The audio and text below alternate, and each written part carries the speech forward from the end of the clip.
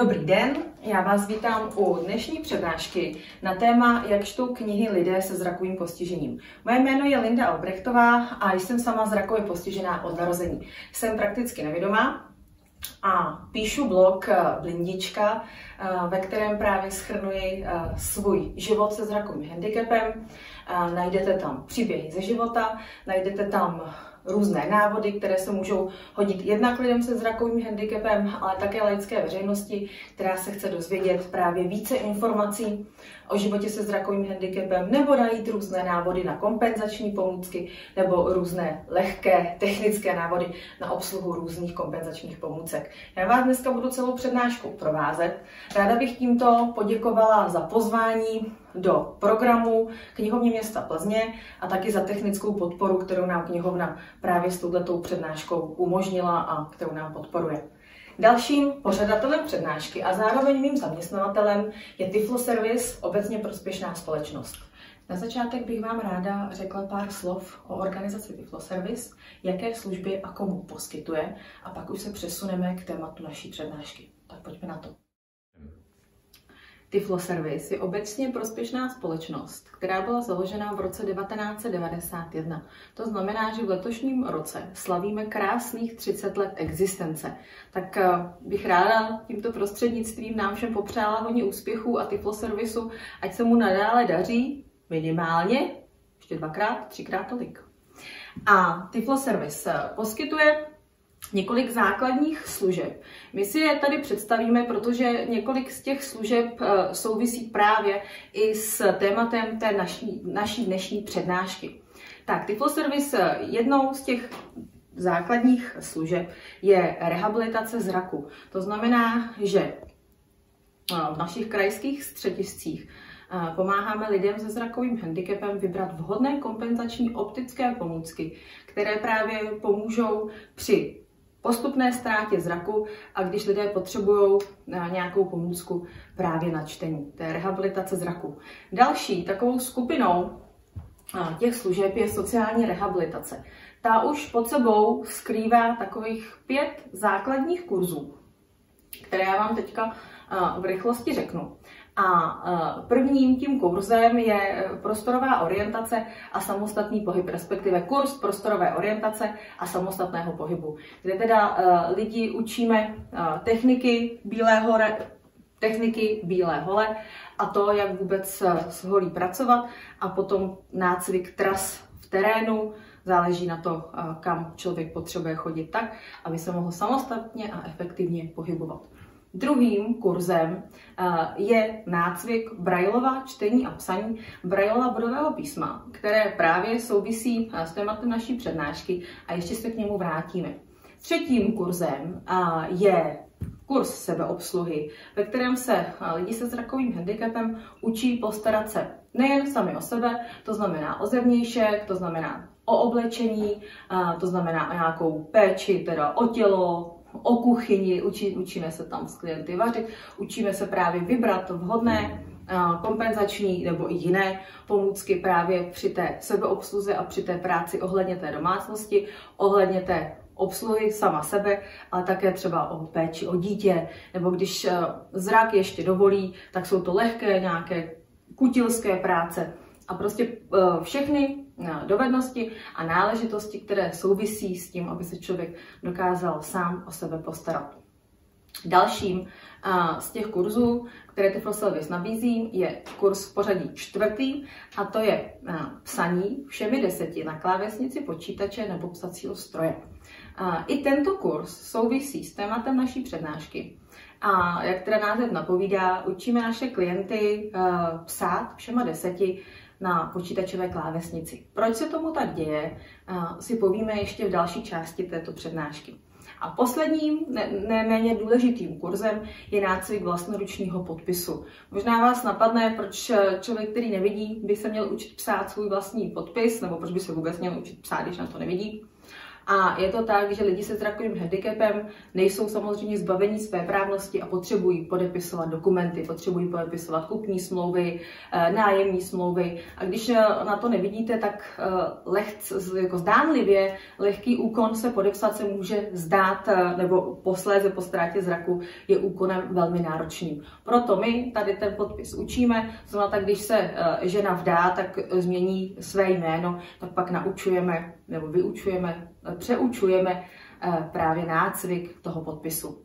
Takže jsme si stručně pověděli o základních službách Tiflo Servisu, o rehabilitaci zraku a sociální rehabilitaci.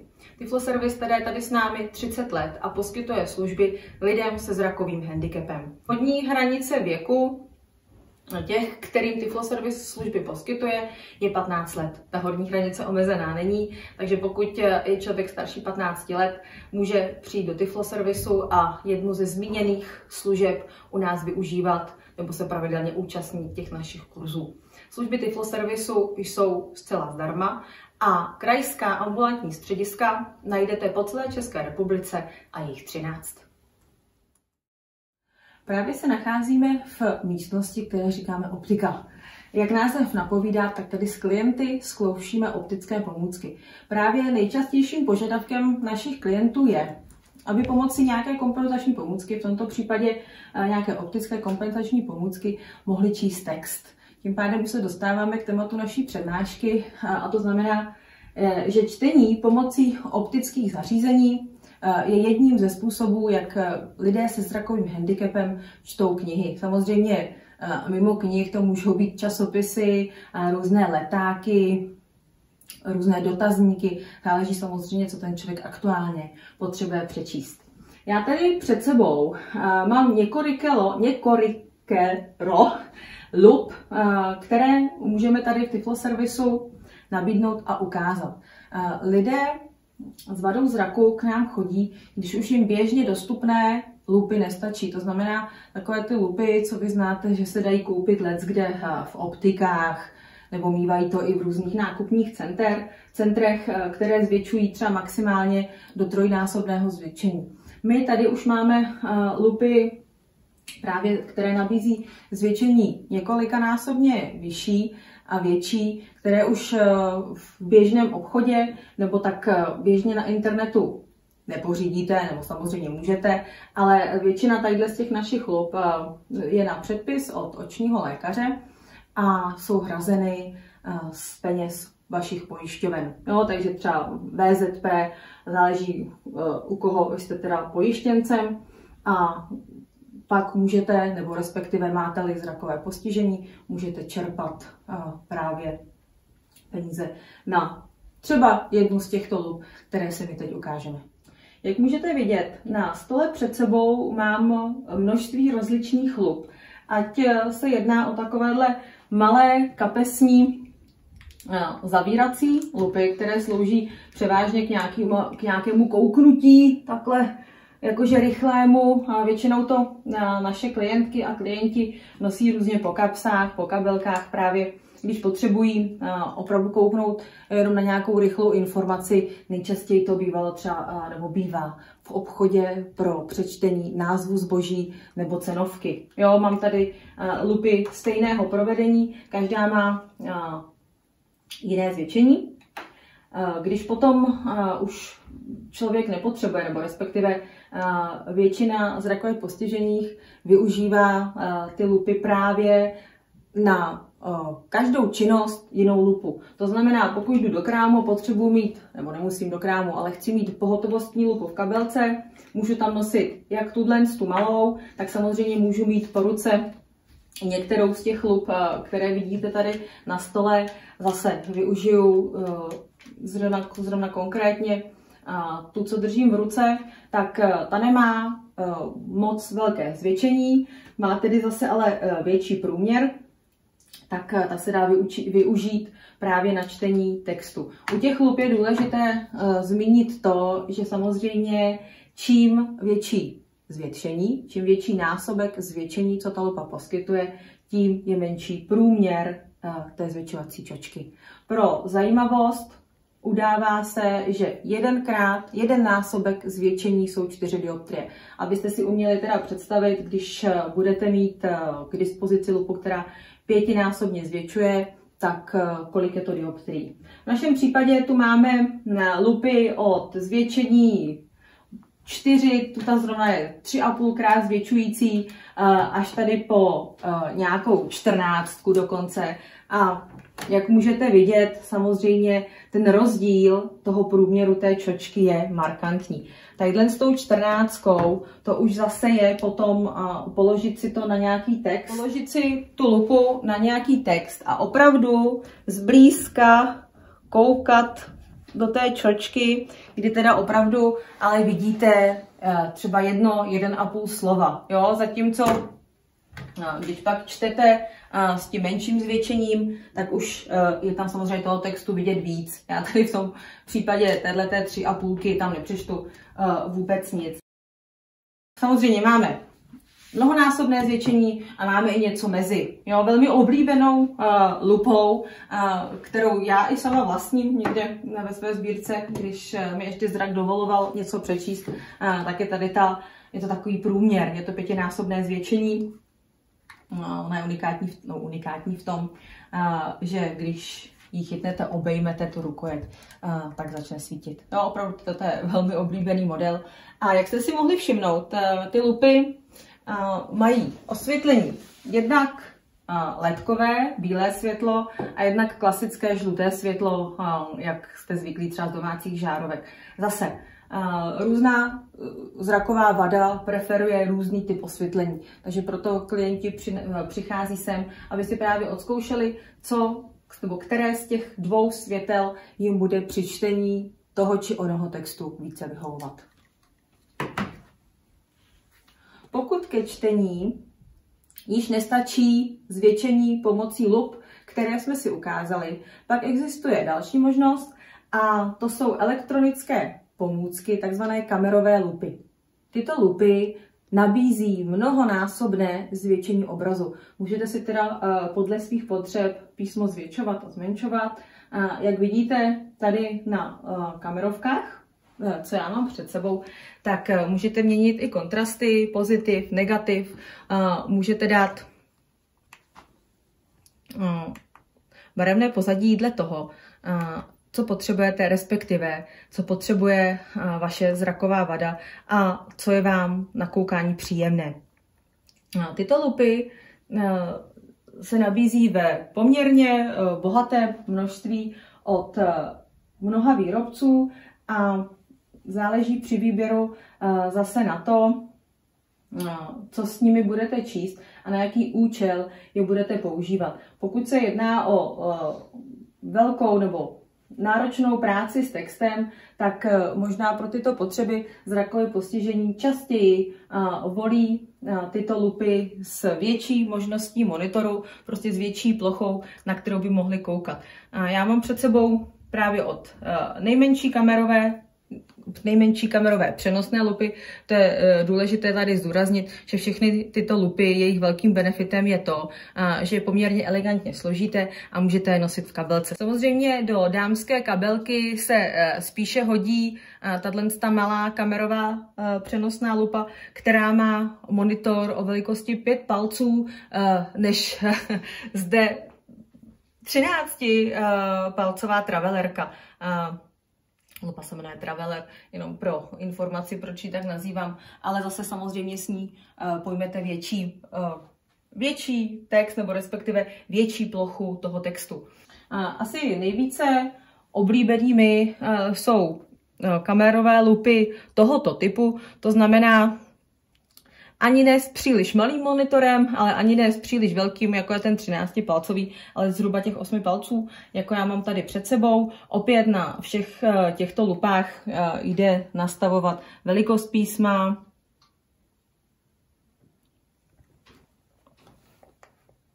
Jdou zde měnit také kontrasty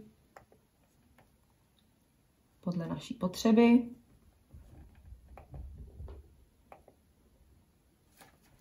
A jde lupu složit, vypnout, dát do ochranného pouzdra a pohodlně dát buď do batohu, nebo do větší kabelky. Zrovna tak jako tuhle pětkovou. Před chvílí jsme si ukázali tzv. přenosné kamerové lupy. Existují ještě kamerové lupy, které jsou stacionární. To znamená, že je máme k dispozici třeba doma na psacím stole nebo v zaměstnání, některak s nimi nehýbeme, respektive je nepřenášíme a nepřenášíme je proto, protože mají poměrně a, velký rozměr a jsou těžké. Tak se pojďme na ně podívat. Tyto lupy nabízí stejné funkce nebo obdobné jako ty lupy přenosné, kamerové. Zrovna tak můžeme nastavovat velikost zvětšení, Tyto uh, kamerové lupy stolní, takzvané stolní kamerové lupy, jak vidíte, mají také mnohem větší monitor, uh, třeba jak jsme zvyklí od počítačů nebo od televizních obrazovek. Takže zase pojmou pro tu práci víc toho textu. Součástí, uh, kromě toho monitoru, jak si můžete všimnout, je i takzvaný pracovní stoleček, na kterém teda se jednak ten text dá číst, ale jednak pod tím nebo respektive na tom stolečku můžeme vyplňovat různé dotazníky, můžeme se tam podepsat, nebo samozřejmě, když knihy čtou různá skripta, různé učebnice lidi, co ještě studují nebo studenti, tak samozřejmě nad tím můžou vyplňovat různé úlohy, různé pracovní sešity, protože pohodlně sem dáte ruku, pohodlně pod to pod tu kameru dáte propisku a můžete tam i psát. Se stolečkem lze hezky pohybovat, právě ve směrech, abyste nemuseli eh, hýbat tou předlohou, kterou čtete, ale hýbáte si podle potřeb eh, se stolečkem. Pokud chcete, aby se stoleček nehýbal, tak ho zase jednoduše zaaretujete.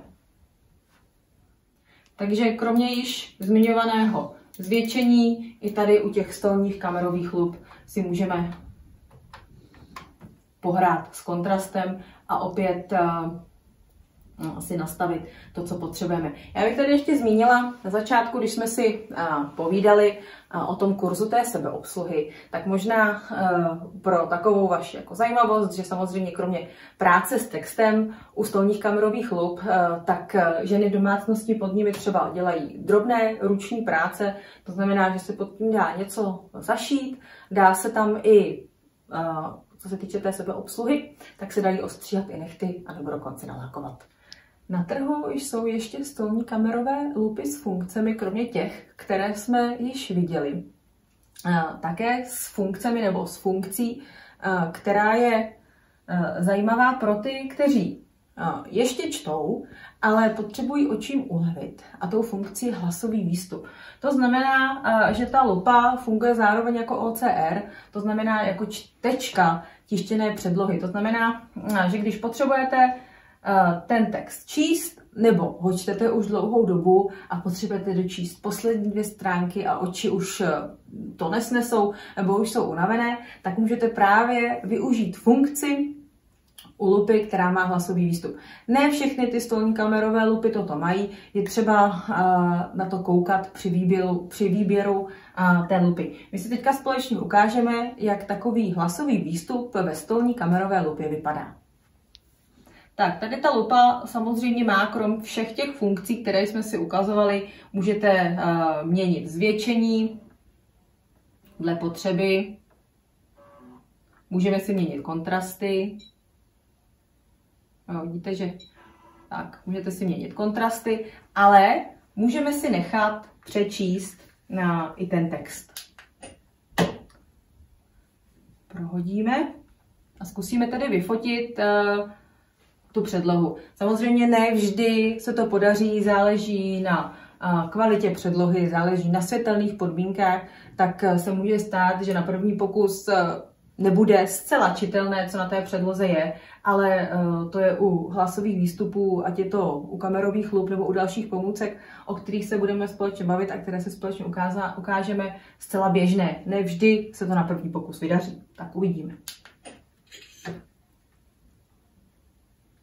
I problémy s pamětí? Vaše paměť funguje. Moje pubertální děti se mnou občas vedou diskuse typu ty jsi řekla ve dvě. Ne, řekla jsem o půl druhý. To teda ne, řekla jsi, že ve dvě. Fakt ne, domlouvali jsme se na půl. Na dvě. Nepam... Jak vidíme, podařilo se nám to dobře ofotit, dobře vyfotit a hlasový výstup si s tím poměrně pěkně poradil. U těchto kamerových lup vy potom se v tom textu můžete pohybovat dopředu, zpátky, můžete si zesílit hlasový výstup, můžete si samozřejmě zpomalit a zrychlit tempo řeči. Samozřejmě s textem chtějí pracovat i lidé, kteří už nemají zrakovou možnost, jak text vidět. I sem k nám přichází lidé, kte- kteří by rádi četli, ale už žádné optické pomůcky nepomáhají a my jim tady můžeme nabídnout takzvané stacionární čtečky, tištěné předlohy, které zase můžete na trhu najít ve více variantách, avšak gro anebo základem těchto čteček je to, že hlasový výstup vám přečte v poměrně krátkém čase, text rozpozná a přečte tedy to, co se na tom textu nachází. My si tady společně ukážeme, jak to zhruba funguje. Já tady vyfotím stránku z časopisu a uvidíme, jak si s tím ten hlasový výstup poradí. Zase platí, že ne vždy se snímání textu povede na poprvé, tak je třeba to zkoušet. Ale z pravidla tyto čtečky mají to OCR velmi dobré a ta odezva a vůbec pochopitelnost toho snímaného textu je velmi dobrá. No, tady ta čtečka má výhodu, že může snímat jednak velikost předlohy A4, ale také velikost A3. To znamená, že ta hlavice snímací, která je zde, by se přesunula zde do připravené zdířky, dírky, jenom by se přendala. Ta čtečka už ví, že bude snímat eh, velikost předlohy A3. Jinak ty čtečky, ať jsou v jakémkoliv provedení, tak mají poměrně intuitivní a jednoduché ovládání. Samozřejmě najdete i čtečky, kde ovládání je trošku složitější, Opět eh, v rámci vyzkoušení Tifloservisu můžou klienti nebo ti, co sem přijdou, odzkoušet eh, veškeré ty funkce a dle svých možností a svých preferencí si vybrat to, eh, co jim bude vyhovovat. Snímání.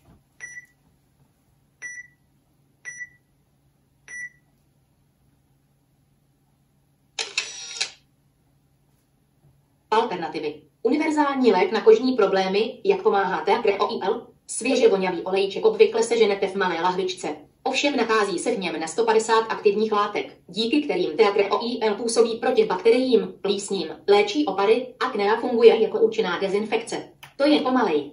Několik z řady důvod pomalej. Pomalej, pomal, pom, pom, pom, pom, pom, pomalej. Důvodů, proč by měl být součástí vaší lékárničky.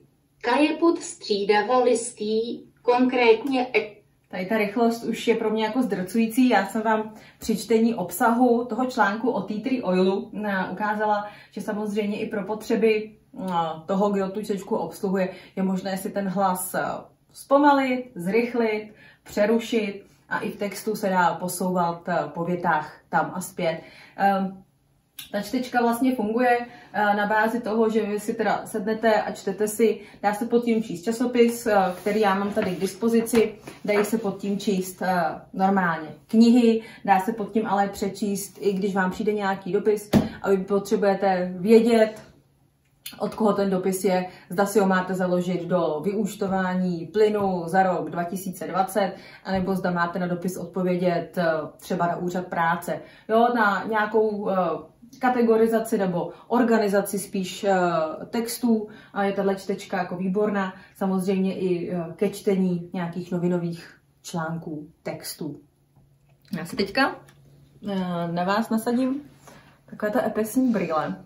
Není to tak, že bych snad na vás, nedej bože, mohla lépe vidět, nebo že bych tady začala propagovat nějaké módní trendy. Ale důvod je velmi prozaický. My si teďka představíme pomůcku, která se uh, liší uh, úplně od uh, těch všech pomůcek, které jsme viděli a představíme Představíme si další z, z mluvících pomůcek, teda pomůcek s hlasovým výstupem, a tentokrát z odvětví uh, umělé inteligence.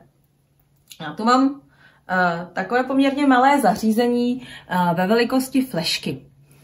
Toto zařízení se jmenuje Orcam My Eye a tato pomůcka primárně, ačkoliv umí ještě spoustu jiných dalších věcí potřebných k sebeobsluze, slouží ke čtení tištěné předlohy. Takže eh, čtečka, kterou jsme viděli před chvílí, je rozměrů větších a většinou se používá k tomu, že si ji necháte doma, na stole, pracovně nebo na nějakém místě prostě staticky. Jo? Ačkoliv uh, taky už jsem čtečku přenášela někam k potřebám prostě přesunutí do knihovny, přečtení nějakých knih, který si nemůžete vypůjčit prostě domů, musí zůstávat v knihovně, dá se to samozřejmě odnést batohu, ten rozměr není tak veliký. Ale abyste se nemuseli uh, s tímto vláčet v batohu, tak právě existuje tento malý pomocník, uh, který tedy primárně funguje jako ta čtečka. Připevňuje se pomocí magnetů právě na obruby brýlí.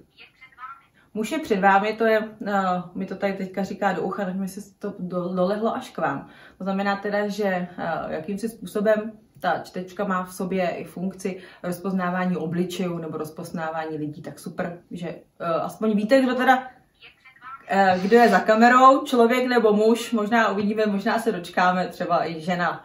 Uh, má mladý muž, výborně, tak uh, super. Já to sundám, aby to stále uh, nesnímalo na to, co nechci. A ještě vám uh, k tomu něco povím. Takže kamera se upevňuje na brýle, uh, Není nutné, abyste eh, k tomu používali eh, brýle, které jsou součástí eh, toho původního balení. Můžete použít takékoliv sluneční, dioptrické, s širšími nožičkami, aby se tam dobře dali uchytit ty úchytky z magnety, pomocí kterých potom připevníte tu pomůcku. Na pomůcka má na svém hřbetě dotykový proužek, pomocí kterého se celá ta pomůcka ovládá. Jo? Takže je to vlastně takové malé dotykové zařízení. Ovládá se teda opravdu pouze tím dotykem. Protože je pomůcka poměrně titěrná, tak její obsluha pomůcky Orca My Eye vyžaduje opět nácvik. Foťme si nyní společně tištěnou předlohu.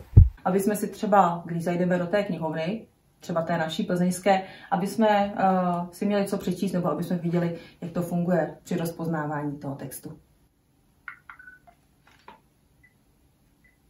Alternativy. Univerzální lék na kožní problémy. Jak pomáhá teatr OIL? Svěže vonavý olejček obvykle seženete v malé lahvičce. Ovšem nachází se v něm na 150 aktivních látek. Díky kterým teatr Tak, jak jsme mohli slyšet, eh, kamera poměrně pěkně sejmula eh, článek o, o tom tea tree oilu, který jsme si teda mohli přečíst. Tak, muž člověk před vámi, já to opět sundám. Který jsme si teda mohli přečíst jak pomocí eh, tady té stacionární čtečky, tak pomocí té, té malé kamery. Určitě obě tato zařízení najdou využití u svých uživatelů. Eh, výhodou kamery je, že je přenositelná, je velmi skladná, nevýhodou je její cenová dostupnost. Zatímco stacionární čtečku do kabelky nedáte, eh, zase ta pořizovací cena je levnější. Určitě eh, si říkáte, kolik teda to tak jako stojí, tak já jenom zmíním okrajově Read Easy, tady ta stacionární čtečka a jí čtečky podobné se pohybují od nějakých 65 tisíc do 70 tisíc plus minus. Zde uh, malý uh, zázrak umělé inteligence, tak ten uh, stojí necelých 135 tisíc. Určitě je však důležité také si říci, že cena v tomto případě není rozhodující. Ať si člověk vybere tu čtečku stacionární, jako je Read Easy, anebo tedy Orkam, tak opět záleží na tom, jaký má zrakový handicap a k čemu bude čtečky využívat. Takže opět uh, záleží na preferencích daného člověka a věřím, že všechny čtečky tištěných předloh, které jsou momentálně na trhu, si své uživatele najdou.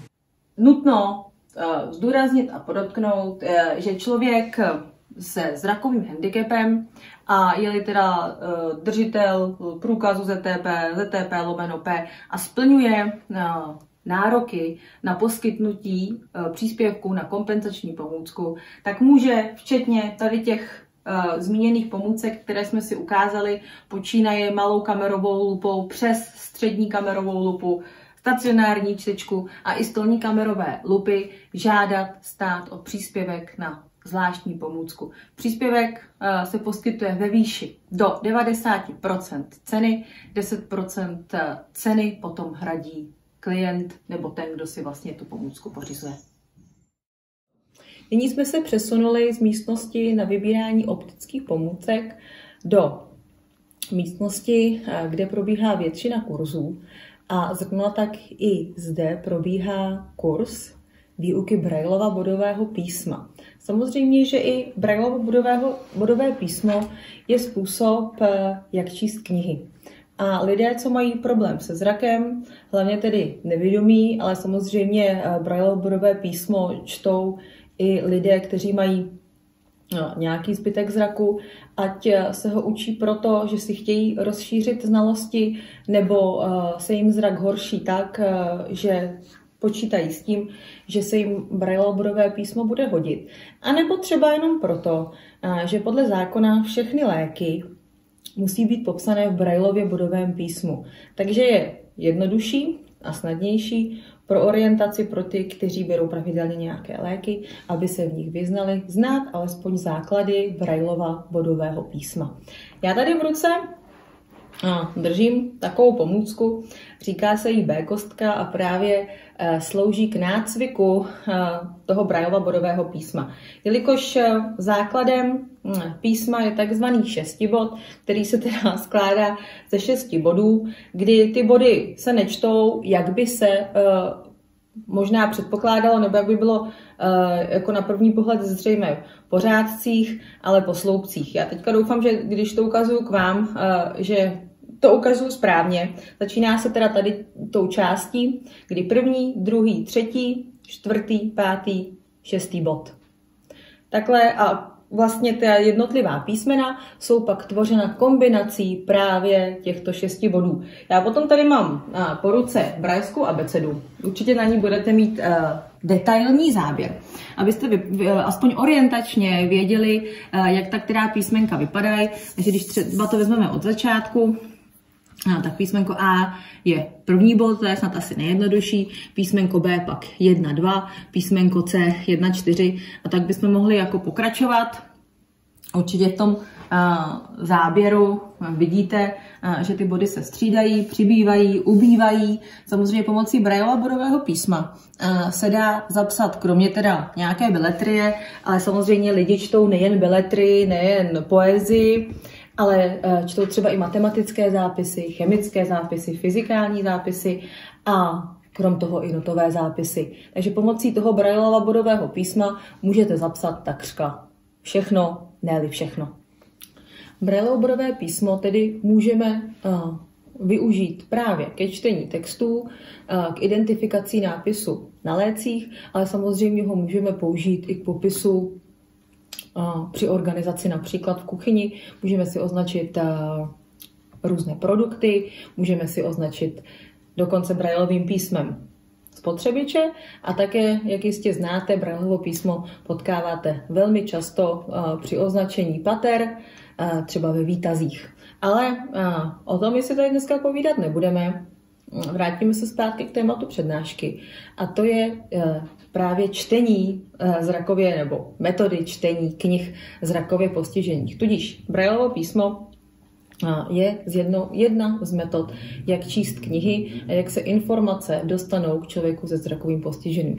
Pokud se člověk narodí jako nevědomý, pak z pravidla, no, zdůrazňuji, že z pravidla, ale navštěvuje školu, která je přímo specializovaná na lidi se zrakovým postižením. Já sama jsem do takové školy chodila, ale jistě všichni víme, že v dnešní době jsou hodně moderní metody inkluze a integrace, ale z pravidla zcela nevědomí, jak jsem říkala, navštěvují speciální školy, kde uh, místo latinky tak jako my, co jsme na to viděli a učili jsme se číst a psát, rozepisovat ruku, obloučky a postupně spojovat písmenka, tak lidé zcela nevědomí se právě ve škole učí Braillovo bodové písmo. A to právě z hlediska gramotnosti, protože člověk potřebuje, nebo aspoň z mého názoru, potřebuje znát nějakou formu písma, aby právě mohl číst a psát.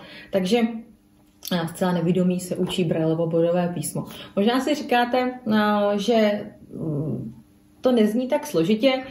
Pravda je, že naučit se kombinaci, jak jste ji viděli na tom prostřihu těch brajlských písmenek, nebo respektive kombinaci toho brajlského kódu, není složité. Naučí se ji dovolím si říct každý, takřka každý, protože je to jenom o to, že se namemorujete kombinaci těch písmenek. Kde potom by mohl nastat zádrhel, a také se to často stává, je, že text nebo prelobrové písmo čtete pomocí hmatu.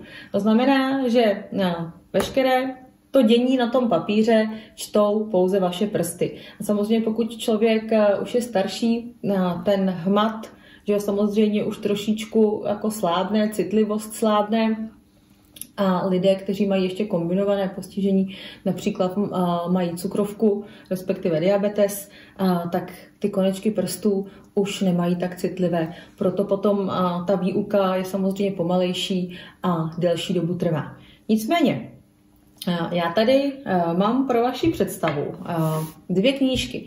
Jedna knížka je první čtení. Já doufám, že aspoň v tom záběru bude vidět to, co budu říkat.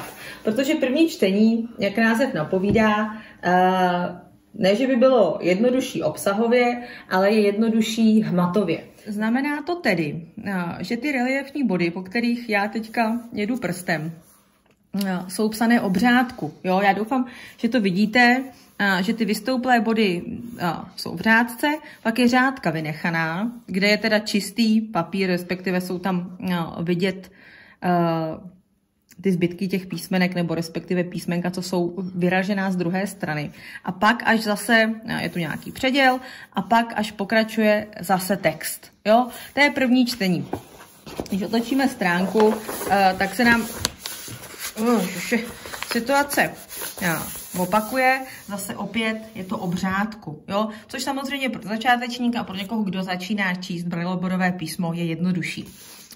Standardně samozřejmě se knihy uh, tisknou v brajlově bodovém písmu, ale už se netisknou uh, takhle obřádku. Jednak proto, že vytisknout knihu v brajlově bodovém písmu uh, je náročnější v tom, nebo představuje, že ten objem toho papíru je několikanásobně větší, než je tomu v černotisku. Já tady mám knížku od eh, autora Hannibala Jiřího, nebo respektive Jiřího Hannibala. Věřím, že eh, příznivci knihovny města Plzně autora znát budou, kdy ten text té knize už je psán tučně. Respektive není tam vynechaná ta volná řádka. A jak vidíte, je to, je to změť, možná neorganizovaná pro vás reliefních bodů. Jo, tady už potom samozřejmě to vyžaduje jistý nácvik a jistý um čtení toho reliefního brajla bodového písma. A tak se to odehrává Eh, na všech těch stránkách. I tak eh, ten náklad, respektive na ten prostor a na to množství těch papírů při tisku toho Braillova bodového písma je několikanásobný. Já tu mám ještě eh, připravený v Braillově bodovém písmu. Taková rozkošná, jakože nejsou to úplně leporela, ale něco na ten způsob. A jsou to knihy určené, nebo knížky dětské určené nevědomým maminkám. Popis eh, těchto knih a vůbec výrobu těchto knih eh, zajistila sama eh, zrakově postižená maminka. A právě proto, aby si mohla ona sama s dítětem prohlížet knihu. A knížka funguje tak, že kam dítě ukáže, znamená někam do prostoru té knihy, tak na tom místě je vždy nějaký popisek. Ať je tam modrý obrát, obláček, zelená žabička, prostě cokoliv se v té knížce nachází, tak ta maminka si tam prstem sahne a je tam popis. Samozřejmě ty popisky jsou dělané ve zkratkách, protože no, jistě je na první pohled znát, že do tak malého prostoru uh, by se celá ta slova nevešla, ale maminka, která ovládá Brailovo bodové písmo, uh, tak si s těmi zkratkami u těch jednotlivých obrázků hravě poradí. Uh, pro znalce Braillova bodového písma a milovníky cizích jazyků, tak mám tady takovou jako libůstku a uh, znamená to, že teda tady na té no, folii je vyraženo Braillovo bodového, Braillovo bodové písmo no, té knihy. Vy už to asi vidíte, kam tím směřuju. Tady ta knížka je ve francouzštině. Takže ti, co ovládají francouzštinu a ještě Braillovo bodové písmo, tak si mohou číst francouzsky. Pokud jsme si teď povídali o čtení Braillova bodového písma, tak uh, mi dovolte, abych se okrajově zmínila o zápisu, respektive o tom, uh, jak vůbec se Braillovo bodové písmo zapisuje. Ke tisku uh, takhle rozsáhlých knih, jako jsme viděli, nebo respektive knih, tak slouží takzvané brailské tiskárny, které se připojí k počítači a text v digitální podobě se musí eh, řádně naformátovat a pak se pošle na tu brajlskou tiskárnu a lezou eh, z toho tedy eh, ty brajlské texty v tom reliefním písmu. Pokud však já jsem uživatel brajla bodového písma a potřebuju si zapsat byť nákupní seznam, nebo samozřejmě i brajlovým písmem se pak zapisují poznámky ve škole, tak k tomu využívám takzvaný Pichtův psací stroj. My ho tady máme označený právě uh, i respektive uh, pro pochopení, která klávesa, jaký ten bod toho brajlského šestibodu. Zase základem je teda šest bodů, prostřední výrazný, výrazné, výrazný prvek je mezerník. Já tady napíšu opravdu jenom velmi krátký text, abyste viděli, jak to vypadá papír, který je namotaný na tom válci, tak e, je krapet těžší než klasický A4 papír. Má pro zápis toho Brailleova bodového písma větší, těžší, respektive těžší gramáž. Já tady zkusím zapsat, pravdou je, že jsem už dlouho nepsala, tak doufám, že se mi to povede. Ono, když se mi to nepovede, tak vy to stejně nepoznáte, protože to vystřihnem. Tak jdem na to. Připravím si prsty. Samozřejmě tady na to nevidím, což je v pořádku a jedem.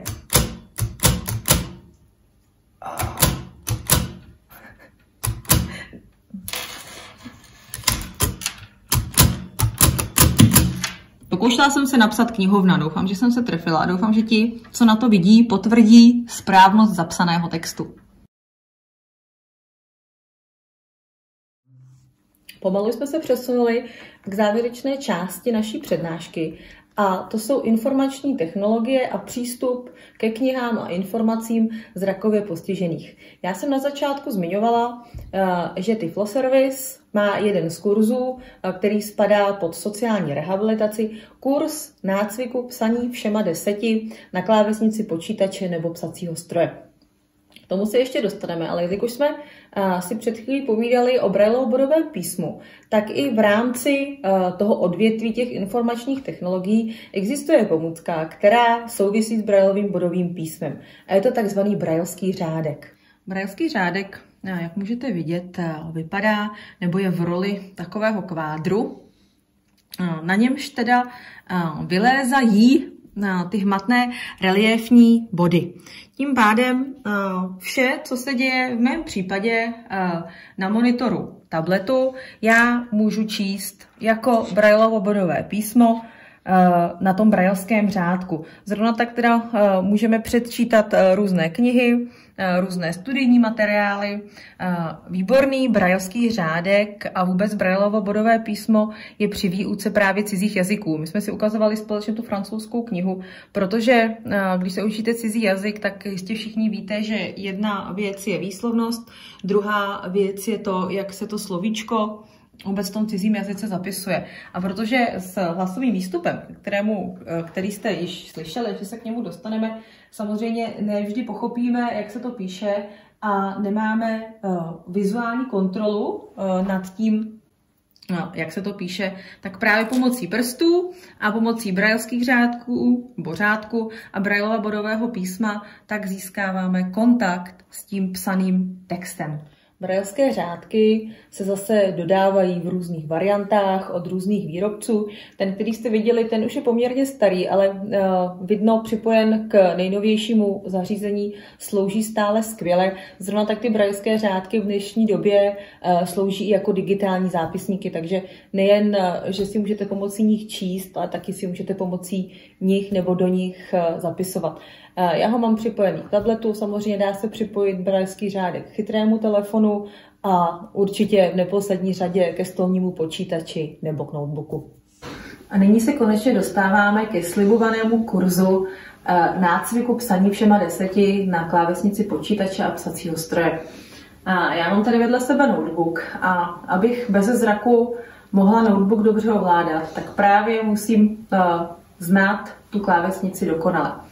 A je to z toho důvodu, že lidé se zrakovým handicapem k ovládání počítače nebo notebooku používají pouze klávesnici. Učí se klávesové zkratky jednak speciálních softwarů, které v počítači mají, a jednak samotného operačního systému. Zrakové postižení používají ve svých počítačích buď jak vidíte tady, zvětšený obraz takzvané softwarové lupy. To znamená, že pomocí toho daného programu, v mém případě je to Zoom text, se dá obsah obrazovky zvětšit dle potřeby, dle toho, jak vidíte a jaký máte teda zrakový handicap, jak jak, jakou velikost většení požaduje. Jo, já si jednoduše můžu zvětšovat a zmenšovat eh, to dané zvětšení. Pro ty, kteří eh, už na obrazovce nic neukoukají, tak eh, pak existují takzvané hlasové výstupy nebo respektive odečítače obrazovky. To znamená,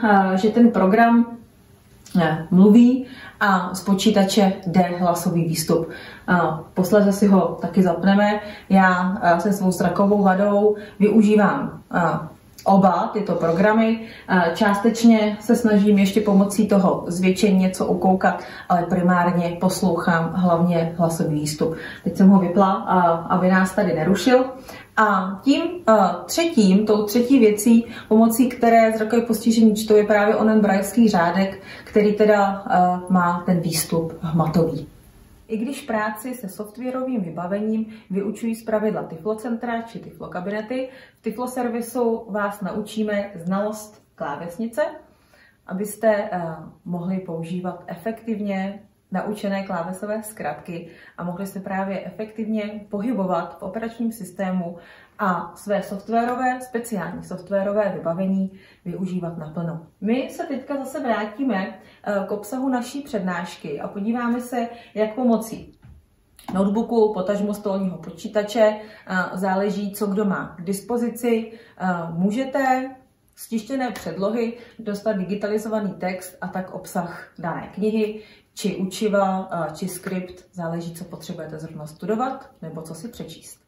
Tak, eh, já jsem se tady spustila asi nejznámější OCR na převod tištěné předlohy do digitální, teda, nebo z tištěného textu do digitální podoby. Je to Abi Fine Rider.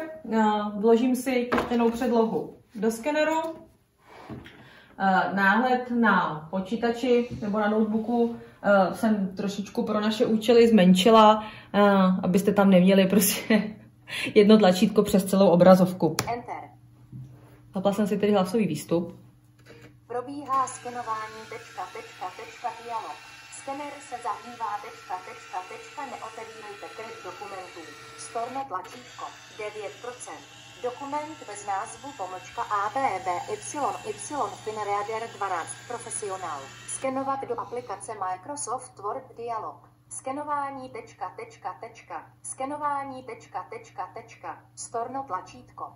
Já jsem záměrně nechala ten eh, hlasový výstup hovořit, abyste slyšeli, že veškeré dění na té obrazovce eh, poví ten hlasový výstup. V mém případě je to program JOS. Já jsem vybrala eh, ještě předtím, že chci skenovat rovnou do textového editoru a to do Microsoft Word, ve kterém si naskenovaný text posléze můžu číst. Dala jsem skenovat jednu stránku, protože pro naše účely to, účely to stačí. Když bychom četli potom nějakou knihu, tak lze samozřejmě naskenovat těch stránek více a pak až najednou si je všechny rozpoznat. Nemusíte to dělat stránku po stránce. Dokument 1 hranatá závorka režim compatibility hranatá zavřít pomlčka Microsoft Word. Zobrazení rozvržení přitisku. Editační pole. Tak, eh, já už vím, že jsem mi otevřel Microsoft Word eh, s naskenovaným dokumentem a dokument si uh, můžu pomocí klávesových zkratek, jak je znáte vy, číst tedy po řádcích, po slovech, kontrolovat po znacích a zkrátka editovat ho dle mojí potřeby. Soubor pro tom Wordovský můžu uložit, odeslat, všechny tyto, všechny tyto úkony, co jste zvyklí vy dělat na počítači, tak samozřejmě lidé se zrakovým handicapem dělají taky. Koukáme na sociální sítě, četujeme, posíláme e-maily, čteme knihy, čteme různé dokumenty a samozřejmě ta, skenujeme různé dokumenty. Já bych ještě tady u toho řekla, že pokud má člověk vážný zrakový handicap a studuje, tak eh, samozřejmě to studium je pro, ně, pro něho náročné.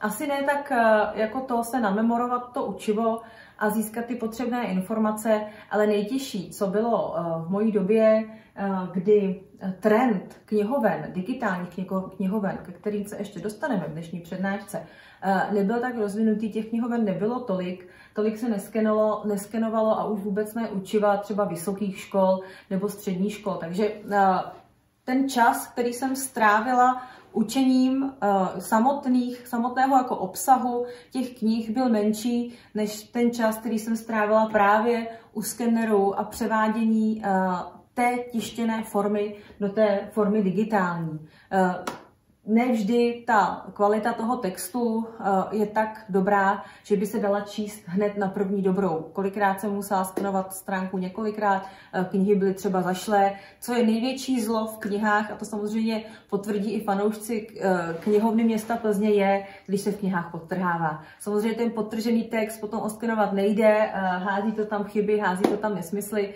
takže apeluji na, na všechny čtenáře knihoven, nepodtrhávejte knihách, pokud vám kniha samozřejmě nepatří. Pokud jsem zmiňovala OCR programy v kamerových stolních lupách, potom eh, v notebooku či v stolním počítači, tak by bylo asi fér zmínit i OCR aplikace eh, v přenosných mobilních zařízeních, ať jsou to tablety, a nebo mobilní telefony. Tyto pomůcky samozřejmě jsou dnes na trhu k dispozici s hlasovým výstupem a tak můžou posloužit právě i při čtení knih či textů na stištěné předlohy těžce zrakově postižené osoby a to kdekoliv v terénu. Například právě v knihovnách, když si potřebujete třeba přečíst nebo jenom vyhledat nějaký určitý text nebo určitou stránku, někdo vám s tím pomůže, můžete si nechat přečíst například jídelní lístek v restauraci, anebo pokud eh, jste na úřadě, nemáte sebou doprovod a úřednice po vás chce podepsat hafo dokumentů, tak ji samozřejmě můžete požádat, ať vám dokumenty na chvíli půjčí na chodbu, kde vy si je přečtete právě pomocí hlasového výstupu a OCR aplikace. My si zase rychle ukážeme, eh, jak takové čtení pomocí aplikace eh, v mobilním telefonu vypadá. Já ve svém mobilním telefonu používám teda operační systém iOS na Apple zařízeních a nejraději z OCR aplikací využívám aplikaci Scanner, respektive Voice Dream Scanner, anebo aplikaci, která je dražší, KNFB Reader. Pojďme to zkusit, jestli takhle v přímém přenosu automaticky aplikace zachytí ten text. Ano, povedlo se, protože většina těchto aplikací má i funkci, má i funkci právě automatického zachycení no, textu, což je výhoda pro ty, kteří nemohou detekovat svým zrakem okraje té tištěné předlohy. My uh, si tady přečteme, co jsme naskenovali.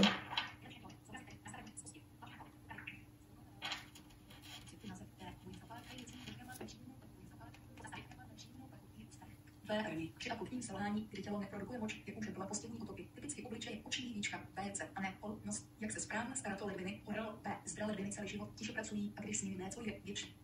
Zase samozřejmě záleží uh, na kvalitě té tištěné předlohy. Uh, na první pokus V celku jsme pochopili, eh, co se v textu píše. Já ten voice-over, respektive ten hlasový výstup mám poměrně rychlý, ale eh, pro názorné nebo názornou ukázku toho, jak se taky dá převést tištěná předloha do digitální podoby, když sebou nemáte ani stacionární čtečku, ani stolní kamerovou lupu, ani počítač a máte pouze mobilní telefon s aplikací, tak to jde a je to znát.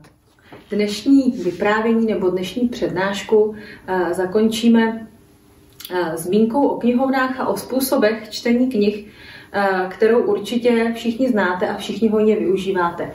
I zrakově postižení samozřejmě ve velkém množství nebo v hojné míře čtou knihy pomocí audia. To znamená, že poslouchají namluvený text, ať teda text, který čte hlasový výstup, to znamená hlasový výstup přečítá onu digitální formu, kterou jsme si ukázali buď ve Wordu nebo v nějakém jiném textovém editoru, ale samozřejmě já sama také preferuji knihy načtené lidským hlasem. V dnešní době je poměrně boom audioknih, ať si audioknihy můžete koupit na CD nebo stáhnout z nějaké audiotéky, ale zrovna tak ty, ta CDčka s těmi audioknihami si můžete zapůjčit knihovnách, ve veřejných knihovnách určitě po celé republice, nejen v té naší plzeňské.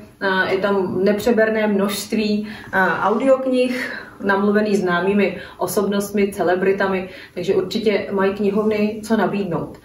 Pro lidi se zrakovým handicapem je samozřejmě návštěva takové veřejné knihovny jedna z možných alternativ, ale ne všichni mají možnost jednak knihovnu naštívit a jednak se do ní samostatně dopravit.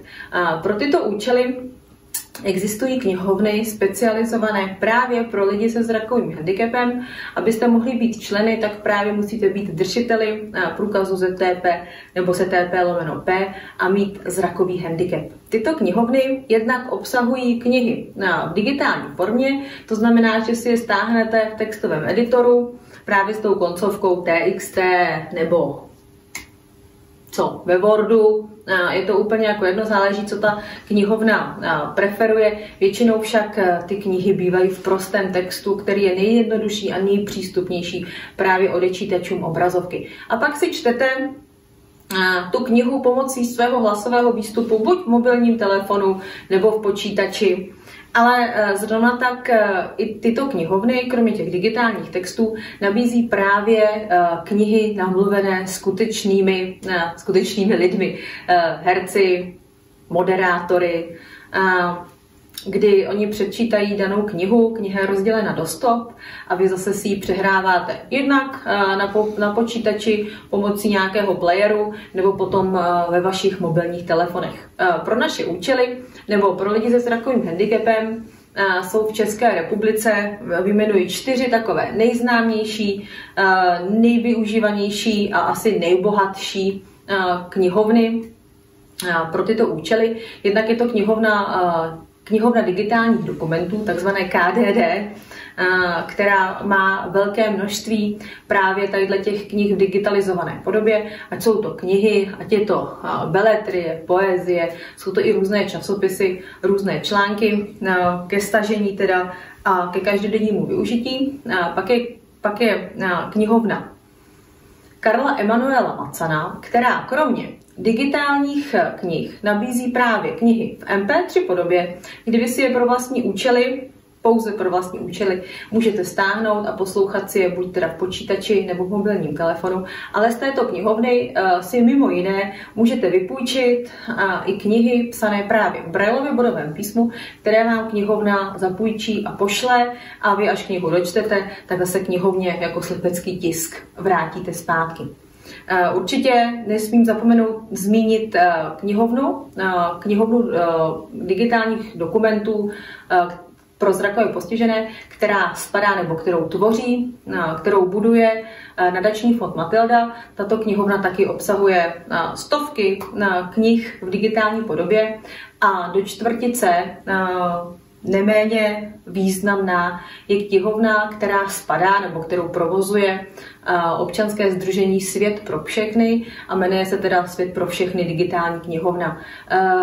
Všechny tyto knihovny a odkazy na ně najdete potom v infoboxu pod videem. Kdyby vás zajímalo, eh, jak ty knihovny fungují, kdo je provozuje, zda by se třeba někdo z vás nebo z vašich blízkých do nich mohl přihlásit, tak veškeré pravidla a registrace se právě dočtete na zmíněných odkazech dole pod videem. A zmínkou o knihovnách pro zrakově postižené jsme se dostali na konec dnešní přednášky. Já bych vám chtěla moc poděkovat, eh, pokud jste vydrželi celou eh, tu dobu a pokud jste získali eh, nějaké užitečné informace, pokud vás přednáška nedoděla a nadchla, tak budu ráda, když se podělíte do komentářů. Celou dobu jsme natáčeli v Plzeňském krajském ambulantním středisku Tiflo Servisu, kde tedy já i pracuji. Tak doufám, že se vám naše prostory líbily. Děkuji knihovně města Plzně, zdravím vás a veškeré informace a odkazy na Tiflo Service, na knihovnu a na můj osobní blog najdete dole pod videem. Já vám děkuji a zdravím.